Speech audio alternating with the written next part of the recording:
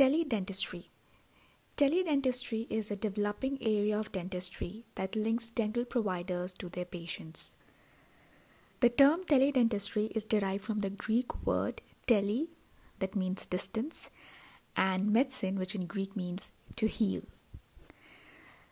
Looking at the historical perspective of teledentistry, so teledentistry is similar to telemedicine, which was first used in 1970s by NASA and more recently by the US military. The US Army's Total Dental Access TDA project is seen as being at the frontier of teledentistry, which had begun in 1994. TDA is the teledentistry project within the Department of Defense that enables referring dentists from the US Armed Forces to consult with specialists at a medical center about the status of a patient. The term teledentistry was used in 1997 when Cook defined it as the practice of using video conferencing technologies to diagnose and to provide advice about the treatment over a distance. So, how does it work?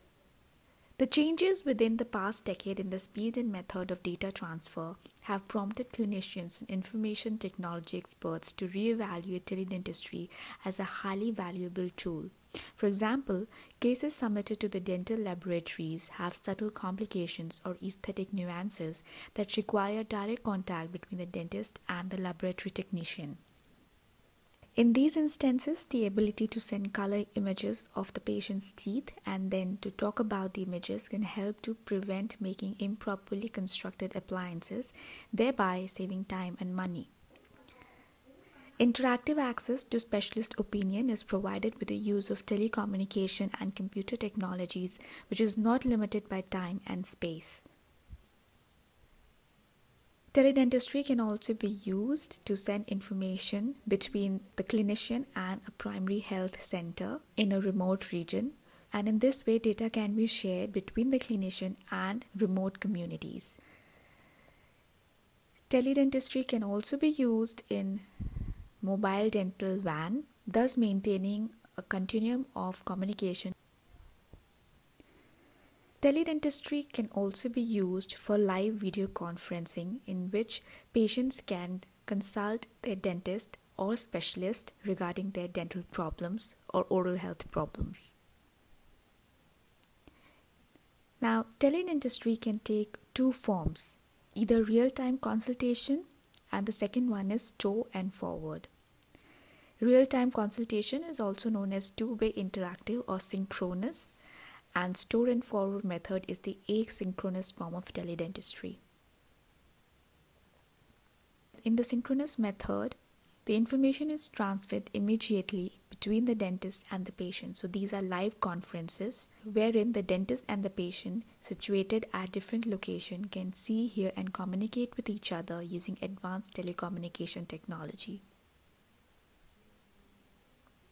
In the asynchronous or the store and forward method, it allows data to be stored in a local database to be forwarded as needed. So the patient's information and data, such as the images and radiographs, are collected and stored for review by a dental specialist at a time later on.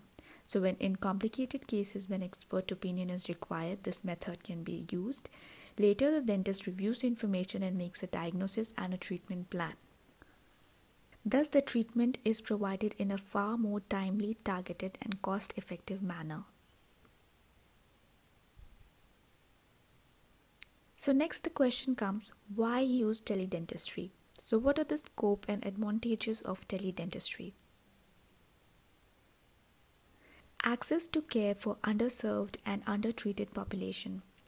Teledentistry has been found to be extremely beneficial to elderly people as a result, the majority of this group of patients can avoid hospital based treatment entirely and need for expensive transport. One study found that 1 in 10 deaths from pneumonia in elderly nursing home residents may be prevented by improving oral hygiene.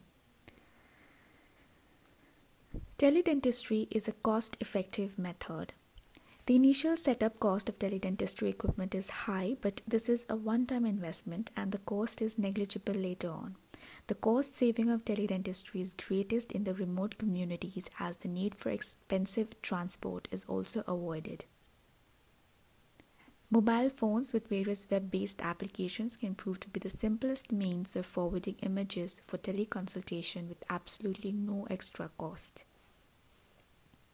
Teledentistry involves sending of clinical images or audio files to a colleague to compare opinions and peer consultation, which can often lead to better prognosis. Thus, it enhances the communication between the dentist and laboratory personnel. Information regarding patient detail can be stored in computers and mobile phones for record purposes, and this data, if required, can be further transferred to a specialist for diagnosis and treatment planning. It also helps in early diagnosis and preventive treatment. For example, for the early diagnosis and proper management of precancerous lesions helps to prevent a lesion to turn into a malignancy. In addition, carious lesions can be detected at an early stage by this method and proper treatment can be planned for the patient. It also helps in training dental personnel at remote sites. So it is seen that there is a scarcity of specialists in remote areas. For this, we need to train the dental team at remote site because specialists cannot perform hands-on examination, thus leading to enhanced training of dental personnel. So these were the various advantages in teledentistry. Nothing can match the accuracy of the diagnosis of the patient performed clinically. So, coming to the pitfalls in teledentistry, treatment requires visit to the clinic. Teledentistry may only help in the preventive and diagnostic procedures. For non medicinal treatment, the patient has to visit the specialist for clinical work such as restorations and surgical procedures. Virtual examination. Diagnosis is based on the clinical photography that may change on face to face communication. The accurate display on intraoral photographs or video recording may be different than what is present actually. Decreased accuracy. Specialists cannot perform hand on experience. They have to rely on the examination performed by the dental team at the remote site. Therefore, there should be a good relationship between dentists working in remote area and the specialist. And also there is the legal aspect. Telemedicine and teledentistry also raise concern about the confidentiality of medical and dental information. Therefore, an informed consent should be taken from the patient and the patient should be made aware about the inherent risk of improper diagnosis or treatment due to the failure of technology. Most of the teledentistry based education programs are in English. Since the internet is a worldwide tool, future goals should include consideration of more multilingual programs. So, next the question arises where and how to use teledentistry? Teleendodontics any faults in diagnosis can cause complications, problems, waste of time and money. With teledentistry, periapical lesions can be adequately assessed, which help to devise a necessary treatment plan. It reduces dental visits and makes urgent help available.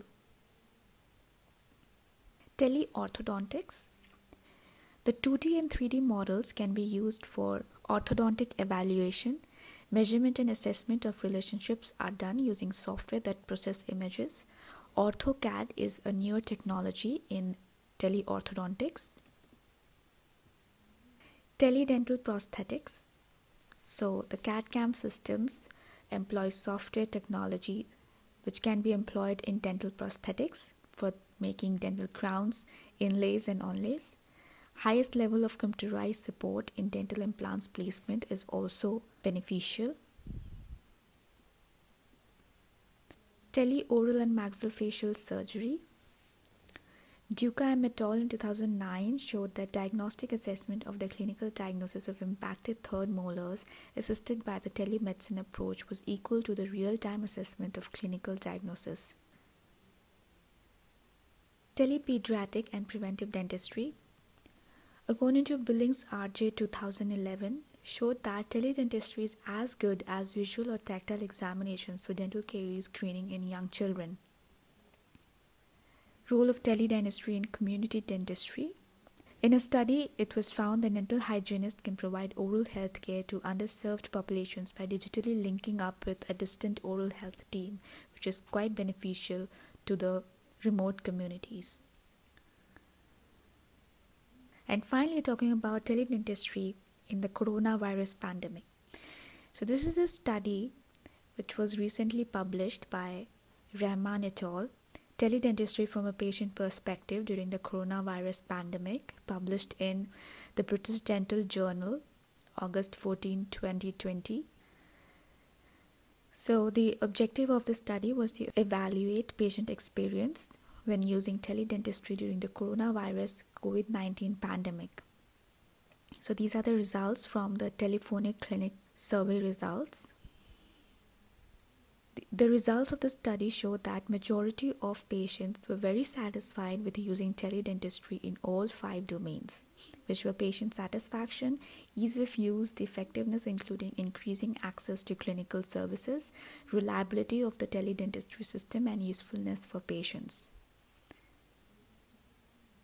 Thus, teledentistry can be valuable for future service preparedness planning, whereby new patient referrals can be seen via this method for the initial stages of history taking and consent. So, this was about teledentistry. I hope you have liked the presentation. Please do like, share, comment, and subscribe to the channel. Thank you.